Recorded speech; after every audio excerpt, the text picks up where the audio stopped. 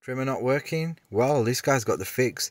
He took the plug off in the middle and instead of buying them from Argos or wherever you need to buy them, he's just put cable ties on there, cut the ends of them off and as that rotates it's going to serve a similar purpose to what the actual blades was. But guess what? It costs, next to nothing. Uh, is it really safe? I've no idea but it's interesting